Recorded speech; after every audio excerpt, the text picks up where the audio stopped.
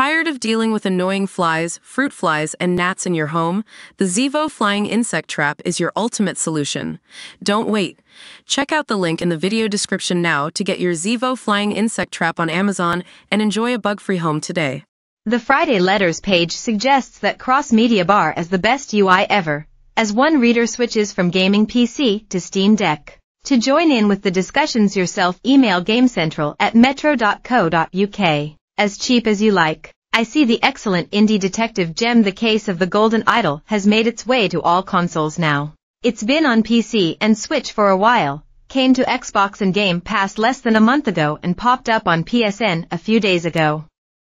Only listed for PlayStation 5 though, which seems a little silly to skip PlayStation 4.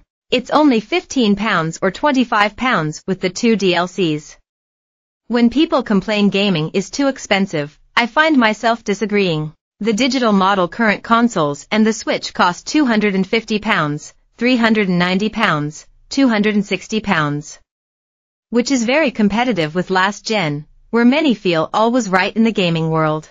Indie gaming and digital distribution means many of the best games are half or less of what a SNES cartridge cost in the 90s.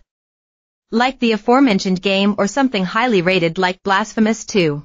Subscription services allow you to access a huge number of games cheaply. I'm just coming to the end of a month's subscription for PS Plus Extra for £10 and 99 pence. I've platinumed Spider-Man, Miles Morales and Ratchet Clank, Rift Apart and closing in on finishing Humanity. A well-spent £11. On PC, key resellers like CD Keys allow for a bargain. I just picked up Blasphemous 2, Turbo Overkill, and the excavation of Hob's Barrow for a slightly guilty feeling £13 and 49 pence. My last two Switch purchases in Super Mario Bros. Wonder and Paper Mario, The Thousand Year Door have cost £37 and 50 pence each, day one, thanks to Key's 25% off pre-order code.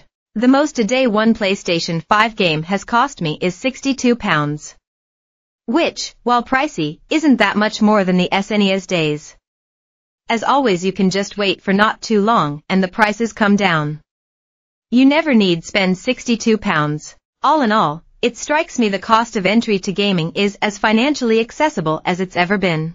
Simundu. Shameless example. I love how shameless American execs are about just not giving a damn about their employees, with the story of this Bungie CEO buying all his expensive cars and then showing them off to someone they were going to lay off a couple of days later. The odd thing is that Sony do seem to disapprove, since there's been rumors for ages that they're not happy with Bungie management.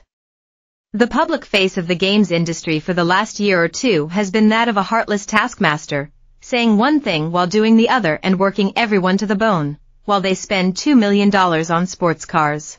It wouldn't be so bad if there was only some sense of shame about it all, but they make it very clear they don't care at all. Dinky. Expensive niche. $50 billion wasted on pushing VR headsets?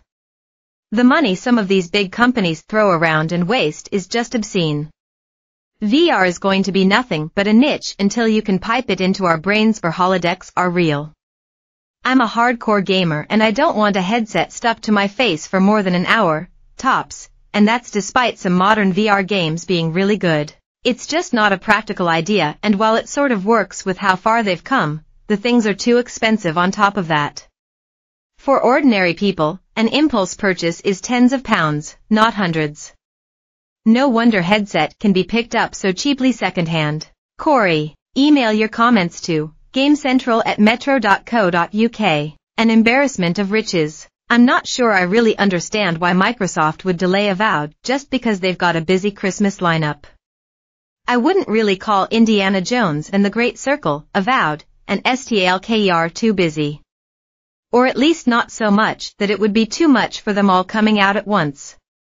In fact, I would imagine that Xbox fans would be pleased to have plenty of choice for once. I know Microsoft's big release is Call of Duty, Black Ops 6, but that's not an exclusive, so it's not really competing with any of those. I do think that Microsoft has a problem with predicting how big a game is actually going to be.